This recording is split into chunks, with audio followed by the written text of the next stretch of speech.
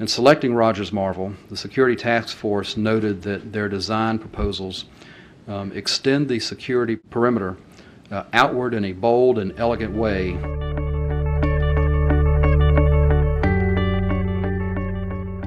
We think, number one, the ellipse is that extraordinary space because it is adjacent to the White House. It is not somewhere else.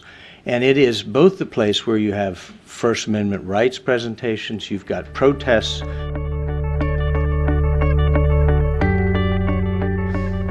And by moving the barrier south and to the, around the perimeter of the ellipse, we have opened up and given broad choice for congregation, for movement.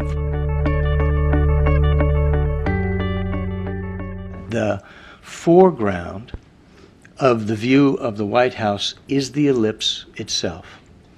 E Street is still designated by a change in paving. We've left the historic bollards connected by chain. We were very much attracted to the idea of being able to subtly increase the grade of the ellipse. It allows us to present the anti-ram wall that creates the formal promenade, the bench seating, the vegetated swale, and then the parking as a sort of order hierarchy moving from the ellipse out. We've got the Sally port for the entry of vehicles that are controlled and managed.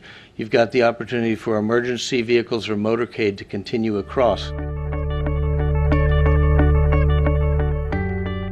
It's quite critical, even if we've taken it over for other purposes, that the fundamental view corridor of the street is maintained, that in fact that's, that is the historic quality of that as a street. Mr. Rogers, thank you very much, and we want to again congratulate Rogers Marvel for um, preparing such a, a thoughtful, beautiful proposal. Um, congratulations for winning the competition.